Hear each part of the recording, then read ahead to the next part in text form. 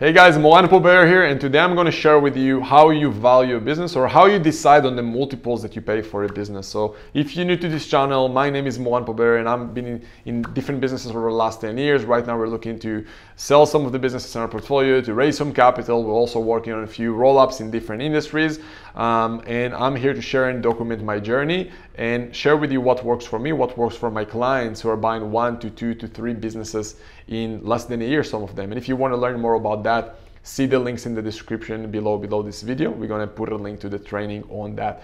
So this is what this channel is all about. Today specifically, I want to answer a question on someone who saw in some of my other videos that we're basically usually paying multiples of profits for a business.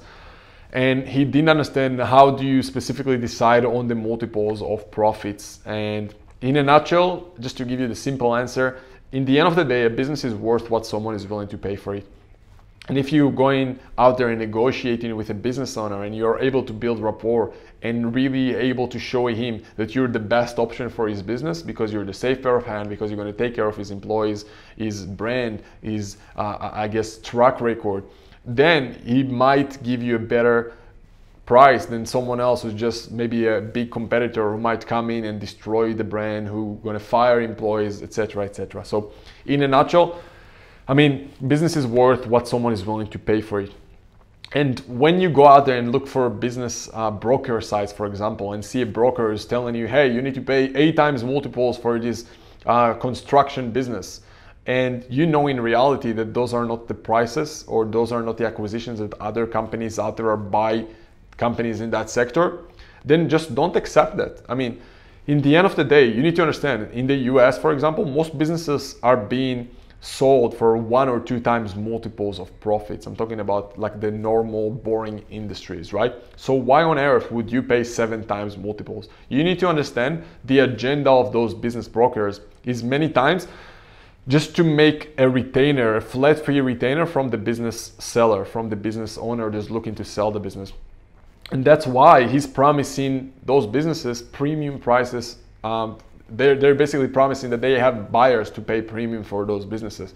But you, as a potential buyer, you don't need to accept those payments. You don't need to accept those terms. I mean, that's that's the answer in a nutshell. I mean, there are many, many different ways to value a business. Like, like I said, multiples of profits, balance sheet method, discounted cash flows, all those different, uh, I guess, details understanding of how to value a business. But I'm telling you, as someone who's also talked to many big companies, M- head of M&As, who basically going out there and buy billions of dollars worth of companies, they're telling you as well, like they will do those calculations, but in the end of the day, they want to make sure that the deal makes sense in terms of financing, in terms of being able to cover debt service. So in the end of the day, it's all about people. You're working with people. If you're able to convince or show the other person that it's a win-win deal for both of you guys, then the price doesn't matter. It's not, I mean, you you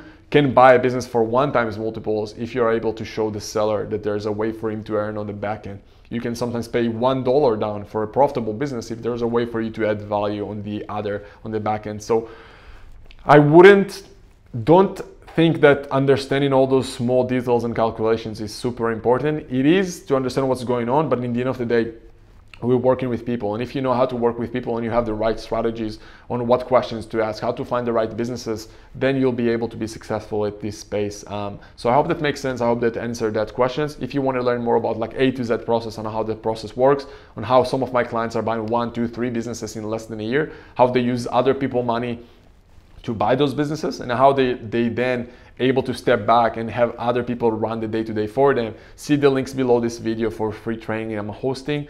And yeah other than that subscribe to the channel if you didn't yet and comment below and let me know um, kind of like your thoughts your questions and I'm, i promise i'll get back to you. So i hope you enjoyed it and i'll see you soon